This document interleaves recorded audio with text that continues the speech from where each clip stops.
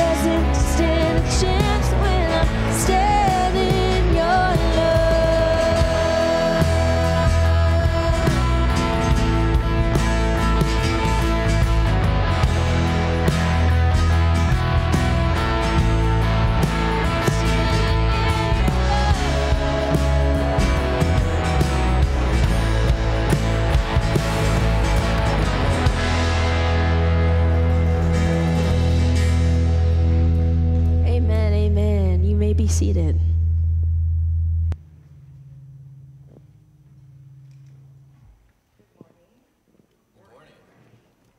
That song, I Raise a Hallelujah, really caught me today. Our sister-in-law, my sister-in-law, was evacuated for four days because of the lava fire. And when they finally got to go home, there was her first sunflower. Up from the ashes, hope arises. Please join me in prayer. Heavenly Father, we come to you this Independence Day to worship you in our words, music, and hearts. We are so thankful for this nation, for all the sacrifices others have made to build and defend this country. We are grateful. Thank you for the opportunities and freedoms we have in the United States of America. Help us, Lord, to never take these blessings for granted. It has been a challenging week in many ways. Wildfires in our home state, buildings collapsed in Florida, with many still missing, and unrest in many places. We ask you to be with those hurting and struggling, comfort the grieving, and give them peace that you do have them in the palm of your hands. We ask you to be with Rodney as he shares a message. May the words he speaks touch our hearts and minds with peace that you are with us each and every day. Please join me in the Lord's Prayer. Our Father, who art in heaven, hallowed be thy name. Thy kingdom come, thy will be done, on earth as it is in heaven. Give us this day our daily bread, and forgive us our sins, as we forgive those who sin against us. And lead us not into temptation, but deliver us from evil. For thine is the kingdom, the power, and the glory forever. Amen. Kids may now go to Kidstown. In church, as we prepare to go back into worship today, um, we want to introduce a new song. And it's called Good and Gracious King. And it's one that um, the youth and I, as well as youth leaders, got a chance to hear at Hume Lake uh, last week. And so we wanted to share this song with you. And before we go into that, we wanted to introduce some of the lyrics um, and the importance of just remembering to think about what we're singing as we worship our King. And so this song is called Good and Gracious King. And it stems from um, a verse, Hebrews 4:16, which reads, So let us come boldly to the throne of our gracious God. There we will receive his mercy and we will find grace to help us when we need it most. And some of the words, the first verse reads something very similar, saying, I approach the throne of glory, nothing in my hands I bring, but the promise of acceptance of a good and gracious King. So we're going to bring up the words to the chorus there. And as I read through them, just feel them on your heart and, and think about what we're singing this morning as we worship our good and gracious King. So the chorus reads, You deserve the greater glory. Overcome, I lift my voice. To the King in need of nothing, empty handed, I rejoice. You deserve the greater glory. Overcome with joy, I sing. By your love, I am accepted. You're a good and gracious King. So we're going to sing that chorus once through. You deserve a greater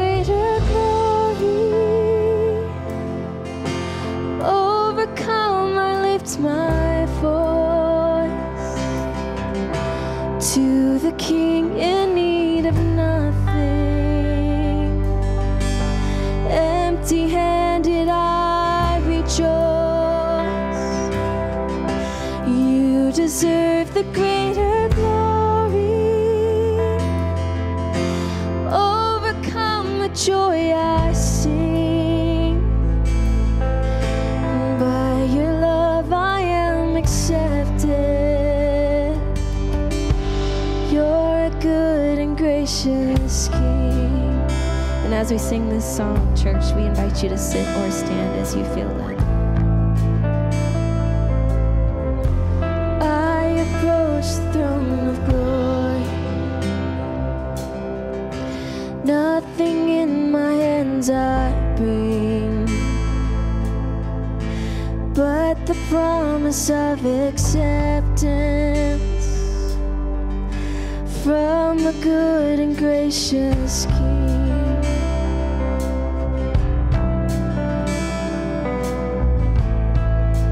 Sing, I will give to you my burden.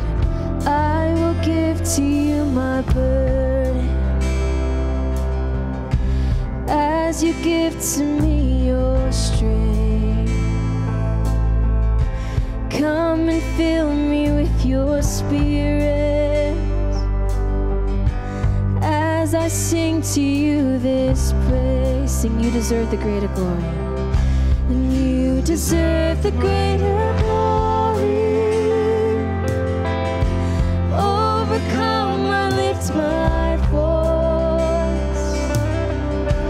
To the King in need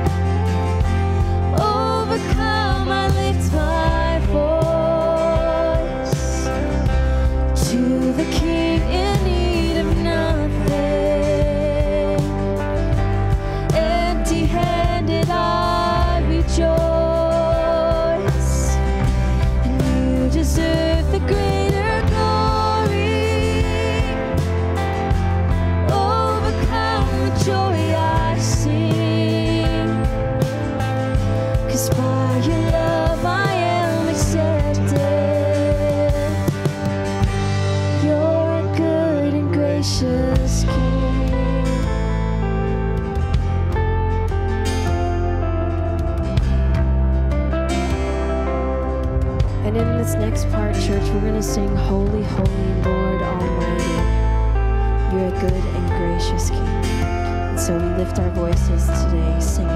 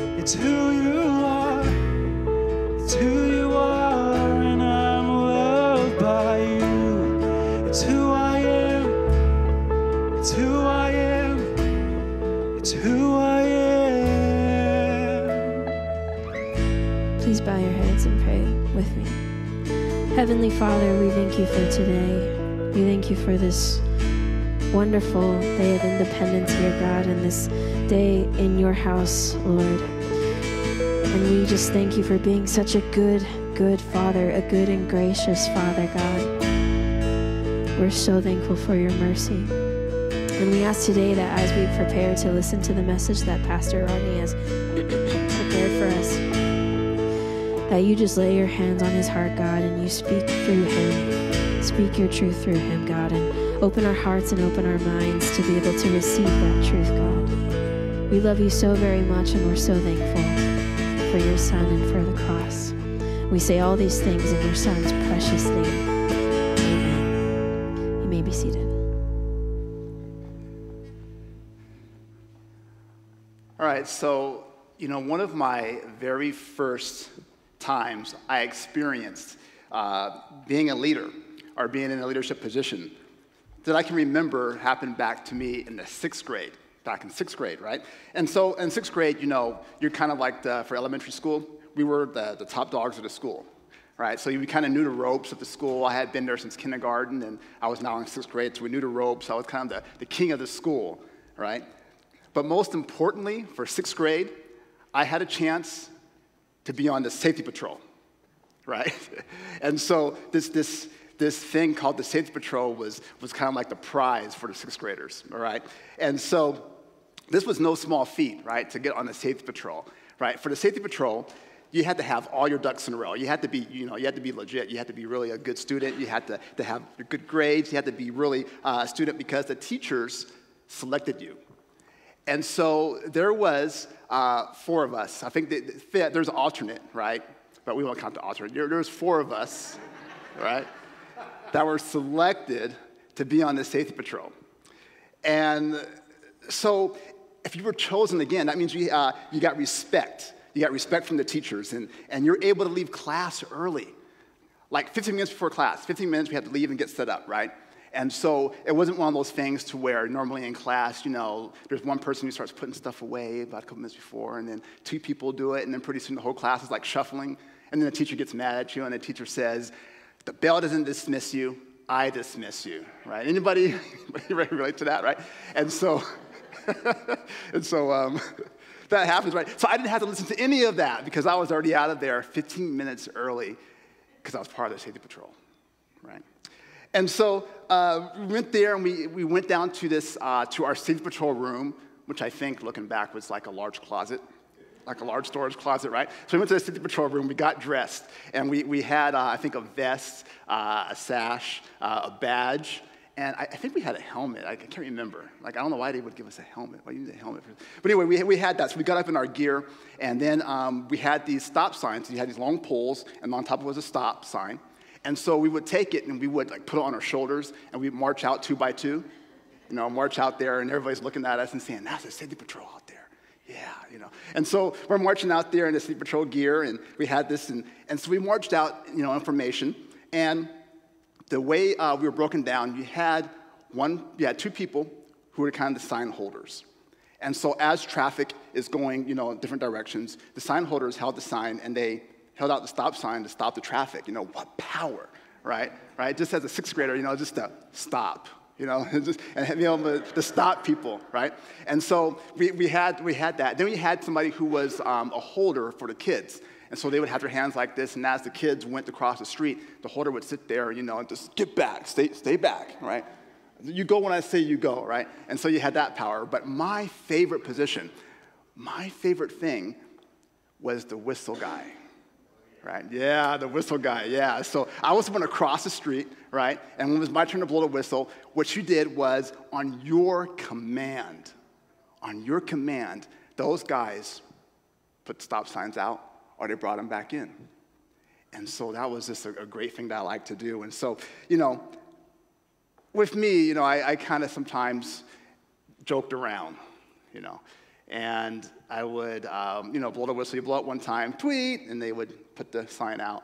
And then two tweets, you know, tweet, tweet, and they bring the sign back in. Well, sometimes I thought I was being funny, you know, and I would blow the whistle slowly for to bring the signs back in. I would just do a little tweet,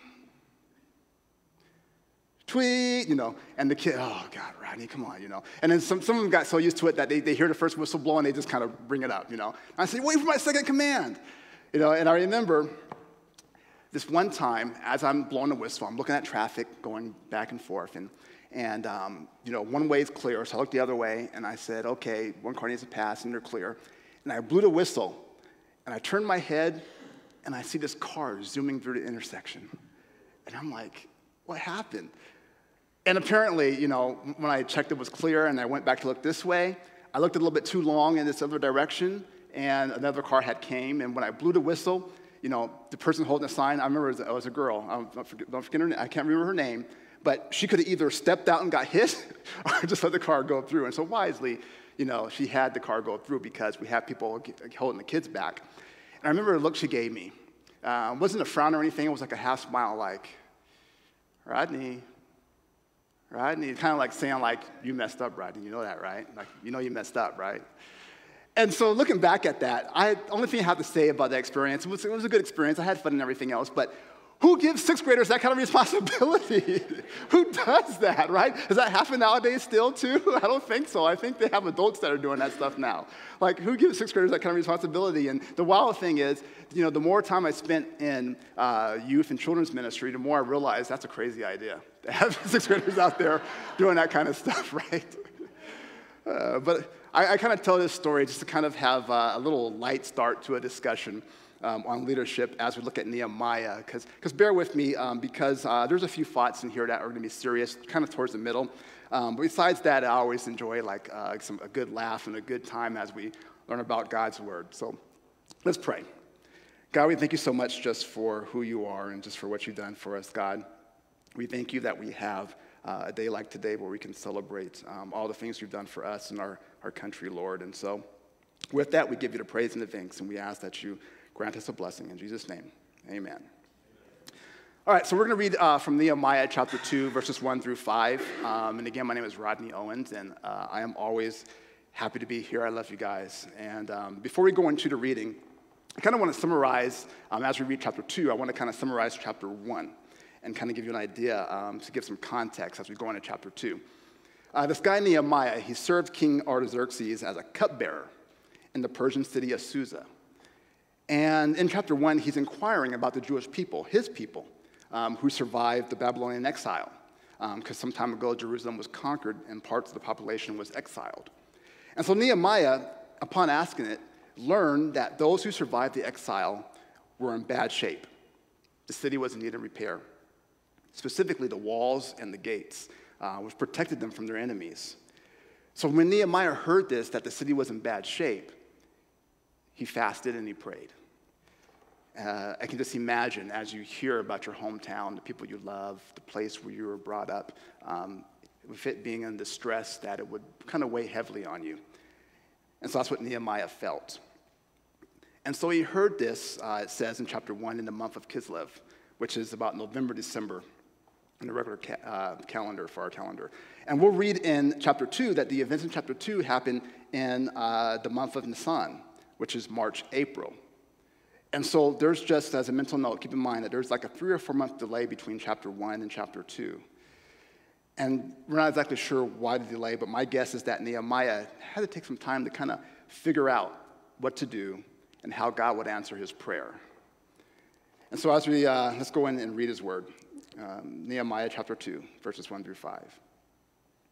In the month of Nisan, in the 20th, century, 20th year of King Artaxerxes, when wine was brought for him, I took the wine and gave it to the king. I had not been sad in his presence before. So the king asked me, Why does your face look so sad when you are not ill? This can be nothing but sadness of heart. I was very much afraid. But I said to the king, May the king live forever. Why should my face not look sad when the city where my ancestors are buried lies in ruins and its gates have been destroyed by fire? The king said to me, What is it you want? Then I prayed to the God of heaven, and I answered the king, If it pleases the king, and if your servant has found favor in his sight, let him send me to the city in Judah where my ancestors are buried, so that I can rebuild it. So, as I mentioned, there's a delay between chapter 1 and chapter 2, and it kind of lets us know that Nehemiah didn't kind of rush into this, right? I mean, he prayed and he waited for an opportunity that would allow him to act on this knowledge that he had. And God does that sometimes, right? It's not, it's not always immediate, it's not always something that happens right away, but the call to leadership, in my opinion, will happen to you eventually. But as everything, it's with God's timing. And, and for Nehemiah, it came at an opportune time because he was with the king. And because of his job, the king and Nehemiah knew each other very well.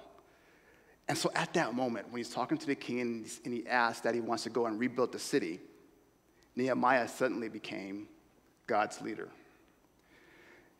Now, Nehemiah, as uh, a leader chosen by God, um, you know, uh, decided to do this and rebuild the walls. And I want to encourage you guys to read the first chap- seven chapters of Nehemiah to kind of get the entire story.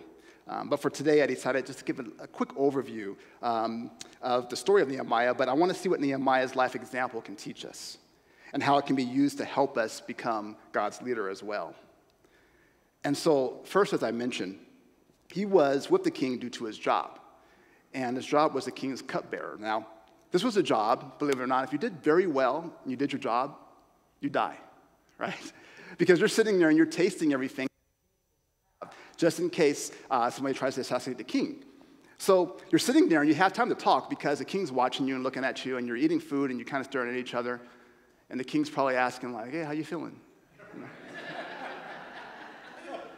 And so they probably made small talk between, you know, between those times of seeing, you know, what the, uh, what the answer would be. Um, but this particular time with the wine, the king saw that Nehemiah was very sad, that there was something wrong with Nehemiah. And so he asked Nehemiah, What's all this sadness about? And it's interesting because in verse 2 it says, real quick, I was very much afraid. And I think that's interesting because I think a lot of times we think about leaders, about them not being scared, about not, them not having fear. And I think it's good to be confident in your talents, confident in your abilities, and especially if you recognize that those are from God.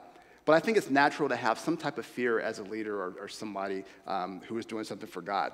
You know, otherwise it wouldn't be brave. But, you know, I think about sometimes, you know, when uh, I had a conversation with somebody before, years ago, and they kind of asked about, you know, speaking in front of people, because for a lot of people that's a, lot of, that's a big fear. And they kind of asked me, they said, do you ever get nervous? And I said, well, I said, I think there's, the better word is anxious. There's an anxiousness to it because you're doing something important. You're doing something that you feel God's calling you to do, and there's a big responsibility. And so, you know, there's a point where I think I had a professor who told me if you get to the point where you're doing something like that and you're just kind of dead inside and just kind of, eh, then you're probably not in the right position for leadership or in the right job for the leadership position that God is calling you for. But in this situation, the king asked Nehemiah, what do you want? And he says, real quick, it says right there in the scriptures that he prayed right away. He prayed before answering. I don't know if it was a quick prayer or if he took a pause or a beat or a moment, but he, he, he prayed that. And after the prayer, he tells the king that he wants to go to Jerusalem and help his people. So the king grants Nehemiah the wish, and he says, You can go ahead and go and take care of Jerusalem. And in that moment, we kind of see here that Nehemiah has kind of a heart for his people, and he has a great sense of patriotism for his homeland. He decides to step up and be a leader appointed by God, and he feels that he's doing what God is calling him to do. And he goes to Jerusalem, and he accomplishes a lot of tasks that are at hand. I mean, his accomplishments include being instrumental in the rebuilding and the reestablishment of Jerusalem in the 5th century BC following the Babylonian exile. And one of the ways he did this was he convinced the people, he convinced the people that were living there that the repopulation of the city and the rebuilding of its walls was hugely necessary. And while doing this, Nehemiah encountered hostility from the enemies and non Jewish local officials in neighboring districts. But in spite of all of that, In 52 days, the Jews, under his direction, succeeded in rebuilding the Jerusalem walls. And again, that's a Cliff Notes version of it. So, once again, please read the first seven chapters when you have time. But as for our time here today, I really want to look at Nehemiah's life and how I can speak into ours and how we can be used as a leader for God. And I think being described as God's leader, um, first off, um, I want to clarify what I mean by God's leader. I'm simply saying that God chooses us to do his will and to carry out his work here on earth. We belong to God and we are leaders, so we are God's leaders. And as God's leader, we will respond to a call. You know, one of the greatest misconceptions I think that we have in our churches today and in our faith and our Christian faith is that only Christians are called. I mean, only pastors are called. I mean, we kind of get it backwards, right? Like, being called doesn't mean being a pastor. We kind of make those things mean the same thing. Being a pastor means that you were called to a specific task by God. Because God calls us to be leaders in the area where we're gifted in, gifted by Him. And it doesn't even have to be in ministry. I mean, look at Nehemiah. Nehemiah was a cupbearer, Nehemiah was a layman. A, a, a, he wasn't a priest like Ezra, he, he wasn't a prophet like Malachi. He served the Persian king in a secular position before leading a group of Jews to Jerusalem in order to rebuild the city walls. Wasn't a ministry position. See, God's people all have a call. You must hear the call and respond to it. See, Nehemiah listened, he heard the call, and responded as he went to Jerusalem to meet a need that was there. And, you know, responding to a call and being a leader of non ministry position years ago, that I was in Sacramento, attending the church in Sacramento, I was brand new to the church, going to discipleship class. Um, there was a lawyer who was there. And this lawyer uh, loved talking about Christ, right? But his job was a lawyer. And so he would talk to people and he would say um, to us, he would say, hey, you know what? My goal is to reach 1 million people, to talk to 1 million people about Christ. And immediately I'm sitting there and I'm thinking in my head, like, man, that's, that's a good goal, but you're not going to, I mean, 1 million. Like, you know, think of something more, a little bit more realistic, I, I guess, you know. And then with, without missing the beat, and I'm thinking this in my head, he says, yeah, a lot of people say that you'll never reach that many people. But you know what I tell him? I bet I reach more than you. And at that moment, I said, wow, that's a, that's a good statement. And that guy's a leader called by God. God's leader also knows prayer is essential to know God's will. God comes to us wherever we are. And I mentioned that last week when we talked about Elijah. But we have to be receptive. We have to be able to be receptive to his voice. Nehemiah heard the news and immediately gave it to God, right? He prayed. We see this in chapter 1 and chapter 2 that he prayed to God, What do I do? My people are in distress. Give me an answer. Because prayer sometimes, prayer sometimes becomes that thing we do, right? Sometimes it's something that we do to complete a task or check off a box. We do it in our church services, which is great. We do it sometimes before eating. We do it when someone's sick. We take prayer requests for meetings and gatherings. Maybe we do it before bed or in the morning. But the key is to really put your faith into it, to really put your faith into your prayers. The hardest thing to do, I think, is to pray for something and let it go. To pray for something and let God just take care of it and let God just handle it. I think that's one of the, the hardest things to do because that means that you're not going to worry about it, you're not going to stress about it, no feeling sad about it, not trying to solve it by yourself, that you're just giving it to God and waiting for God to give you an answer to tell you what to do. For me, and one, one of the times that was a very difficult time of me praying and, not, and then not turning out the way I wanted to turn out, and having to wait for God to kind of give an answer uh, a year later was the time when uh, some of you guys know the story that me and my uh, wife uh, had two miscarriages one year after another. And the first one was immediate, the first one was right away, but the second one took some time. And I remember we had, went, I, we had just saw the ultrasound, and we saw RJ, that was his name, RJ, and we saw him kicking, you know, on video on the ultrasound. And so I remember, uh, you know, the wife goes to an appointment and get a little message saying that, oh, wow, I have to stay here a little, longer. They got to look a little deeper. There wasn't a heartbeat. And I remember immediately right there, I stopped everything I was doing and I got on my knees and I prayed. And it was probably one of the hardest times I prayed. Probably one of the longest times I prayed and prayed and prayed. And tried my best. Okay, I'm giving it to God. Everything's going to be all right, right? Giving it to God. But it didn't turn out the way I wanted it to. But you fast forward and you kind of see that God had an answer as we're blessed with Riley. And so the question becomes how do we pray and just let it go? How do we pray and just let it go? And it's one of those leadership traits that may take time, it may take years, it may take a lot of experiences in order for you to do that. But I think it happens because eventually, as you strive to know God, you and God will eventually sync up, right? You'll get to know God. Um, working on prayer is just like working on any type of communication between people, right? Uh, between spouses, between boss and, and, and employee, between uh, siblings, whatever it may be. It takes time, it takes work. Our prayer life improves the more we work on it. Because now I'm at a time in my life where I know what to pray for and what not to pray for.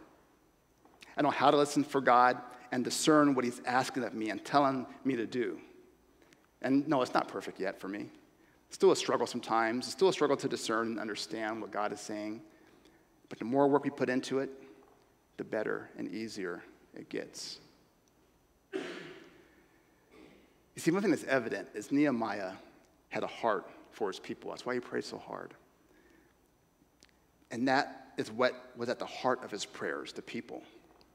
You see, Nehemiah understands it's about people. And God's vision is simple a lot of times. It's very simple, and it will always involve people. It will always be about people. And sometimes we make things complicated, right? God tends to be very simple in his plan, and we make things complicated. I mean, Nehemiah's vision can be summed up in three words three word assignments rebuild the city, rebuild the wall, rebuild the gates. You see, Nehemiah assembled a team of people to make the vision happen. Nehemiah thought in terms of we and us. If you read that, he's using that, those that terminology, we and us. Chapter 3 even has a list of people who worked on the project. See, the real purpose of the vision? To rebuild the wall. But the wall was not the important part of the vision. The wall was a means to a larger purpose. When Nehemiah and his people were really about reclaiming their identity as a people of faith. And that's what Nehemiah wanted to do was have their people reclaim their identity in Christ as people of faith. And so I'm going to take a few moments right now, and I kind of want to emphasize what I just said about identifying as people of faith.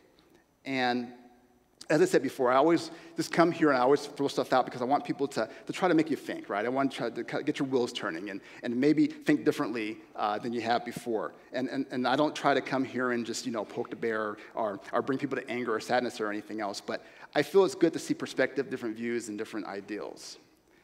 And to say that, so bear with me for a moment, because as we sit here on Independence Day and celebrate the independence of this country, I want to say, as I said a few weeks ago, when I talked about Paul, that God is above everything else. God is above everything else. God is just not the God of America. In fact, we're not even the chosen people in the Bible, right? But I do believe that the church needs to be visible and active in this country as we, when I say we, I mean the church, continue to bring people to Christ. And to do this, we need to put God above our nationalism, our politics, above our laws, because we sometimes place those things over people or sometimes we make them more important than people. For example, you know, we in the church sometimes get worked up, maybe a little bit, over laws, politics.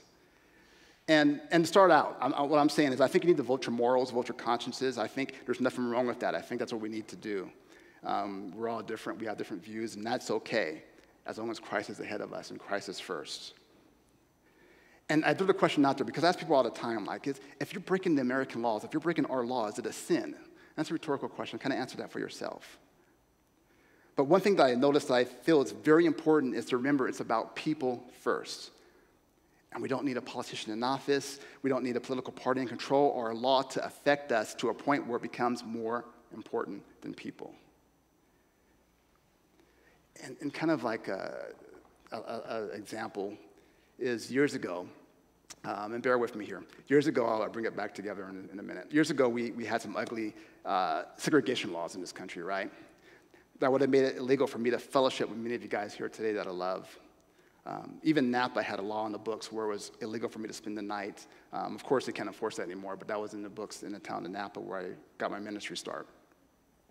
And a lot of pastors that I know back then who were pastoring back then kind of admitted that they wish they would have done more in those times instead of standing by. And some of the reasons why they stood by were they said, well, it's the law. Uh, it's the way things are. It's just the way things happen, the way things are, are these days. Um, didn't want to get the church involved in, in the political scene. Um, but you had this law here uh, that a lot of Christians were obeying that they didn't agree with. And I'm sure some did agree, but a lot of them didn't agree with. But it was clearly a law that was immoral. So if someone, like the African American pastors, broke that law, would they be, committing a sin? Is the question. And then I think about today, and I think about one of the hottest controversial laws out there abortion, right? And this is one that Christians fight about, and it's always highly de- debated, and there are strong feelings on the issue. And I'm gonna make a point in a second. There, this is one that you can ask yourself in obeying this law or doing what the law allows you to do, is it a sin? See, on the one hand, you had a law of segregation that was immoral, but it was legal, that Christians followed. Now, on the other hand, we have a law, abortion, that is legal, that Christians don't want to follow. And the point I want to make is we don't need a law as Christians to tell us how to live as God's people. Ultimately, we want to be God's leaders. In both cases, when we get worked up, argue and fight over the law, and again, there's nothing wrong if you're moral, if you're sticking to your morals and your consciousness, conscious. But when we do this, we miss an opportunity on the real thing that God wants us to focus on the people. The people. In both cases, the most important thing is the people. When segregation was happening, it was about the people affected by it and the people that were treated badly. Back then, if you were a Christian and you were, fight, you were fighting for equality, you would have broken the law simply by focusing on people but you would be being moral by following God's standard. Now, on the other hand, if somebody wants to get an abortion, which, by the way, I'm not saying it's a good thing, but they're probably somebody who maybe they're scared. Maybe they have issues. Maybe they have low self worth. Maybe there's something going on with them that we may not know if we don't find out. If we don't take the time to find out and have a conversation with them and find out what's going on with them and introduce them to Christ so that Christ has a chance to change them because Christ is the one that changes people. See, we are called to meet people where they are and to tell them about God, to bring them to Christ. Christ is the one that changes people. Nehemiah understood this. Because the truth is, God's vision will always involve people, and it will always be about people. See, I believe when the church gets this right and truly understands this, just as Nehemiah did, we can do some great things. Leading up today, to today, I saw so many pastors and other leaders talk about, you know, this thing about not making the service a patriotic service today. And they're talking about their own churches and churches all around America. And I find it interesting because I do believe there's one extreme. There's one extreme where, you know, you're preaching uh, about politics and you're preaching about political people and positions. But there seems to be something happening on the other end where we're talking about, uh, you know, not talking about the great country that we're in. You know, I've been to Africa and different countries, and trust me, we are blessed here. This country isn't perfect, but we are blessed with some liberties and freedoms here, and I don't think we should be ashamed of them. We shouldn't be ashamed to thank God for them. Because I have no problem standing up here on stage, on a pulpit, or before everyone saying that this country is a country that believes in God. And the church exists to bring people to Christ. And we are proud and not ashamed to say that we are going to continue the great work of Christ uh, to make this one nation under God, and we are going to do that by changing the hearts and the mind of the people. And when you do that, when we declare that, one last thing is God's leader is not discouraged by adversity. See, as Nehemiah and his people rebuilt the walls and the gate, they were ridiculed, they were mocked. Opponents were disturbed when Nehemiah was doing something positive. You always have people that will come along, you know, the term they use, haters, that will come along and you're doing something positive, you're doing something for God, they're going to come along and say things about you and try to discourage you. Nehemiah even waited three days before he inspected the wall. He wanted to do it when nobody was looking. His enemies tried to discourage them from rebuilding the wall. They threatened to tell untrue stories about Nehemiah as well.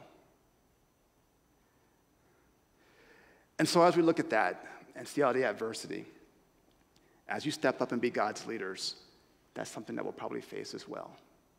But God is with us. I usually end always by giving next steps, things that you can do to take the next steps in order uh, to apply uh, what I just said in the message. But today, I really can't do that. You are all called to be God's leaders. You're called to be part of the change that can happen in our nation. You're called to be a leader that puts people first. See, the church is ready to move and be that beacon of hope for those who don't have hope. So take some time, kind of write down your own next steps. What is God calling you to do? How is God calling you to step up and be God's leader? Let's pray.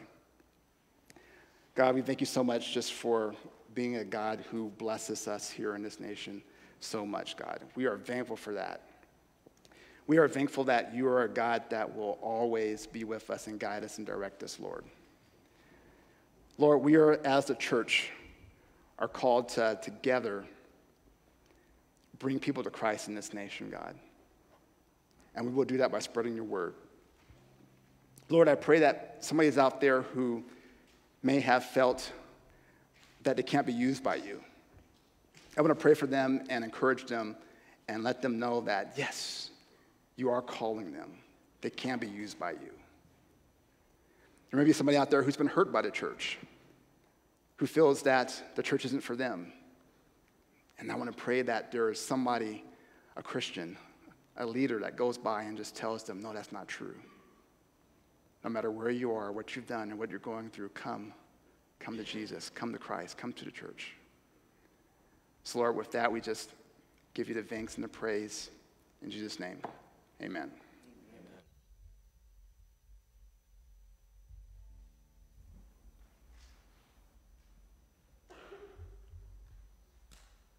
Good morning, brothers and sisters.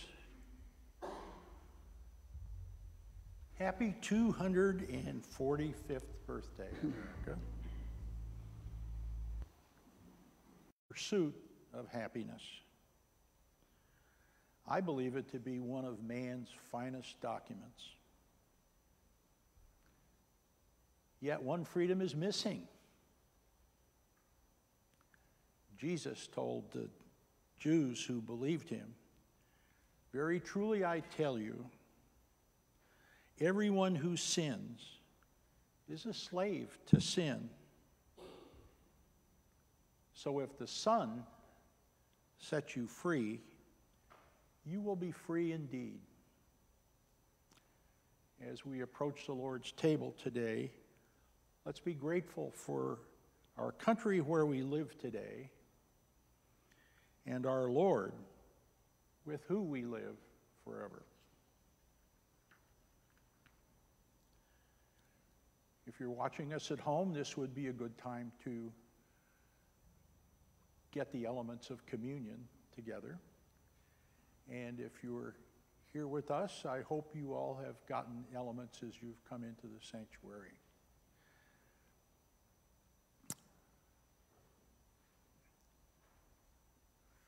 If you aren't familiar with our little communion cups, you'll see that there's a transparent lid. Carefully place that back, pull that back a little bit, and you'll have the uh, access to a wafer. And then peel back very carefully so you don't spill it.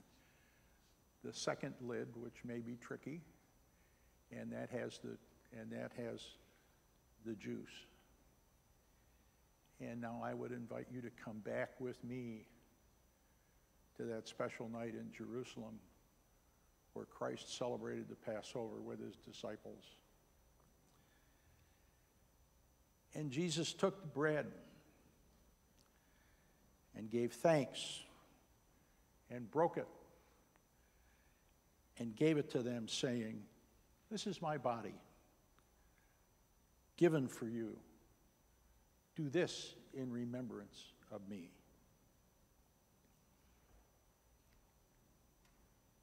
Let us take our bread.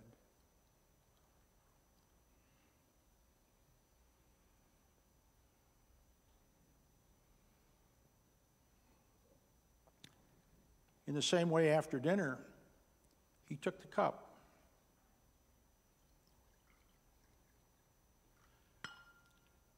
Saying, This cup is the new covenant in my blood,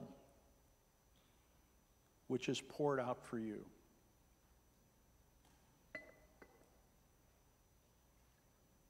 Take and drink.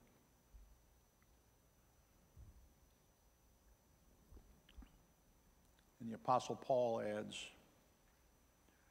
Whenever you eat this bread and drink this cup, you proclaim the Lord's death until he comes. God bless us all.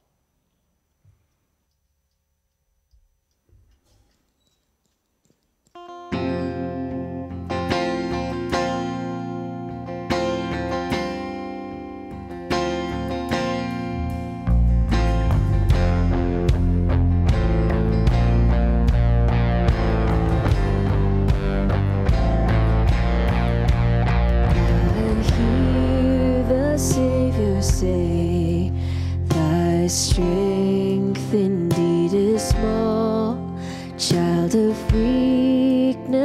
weakness, watch